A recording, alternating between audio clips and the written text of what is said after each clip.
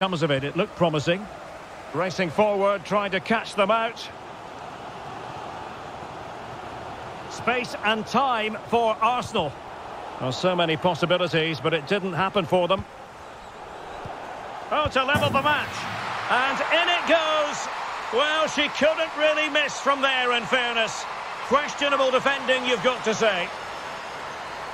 Well, here's the replay, and it's a simple finish in the end. But where was the defending? That's just not good enough.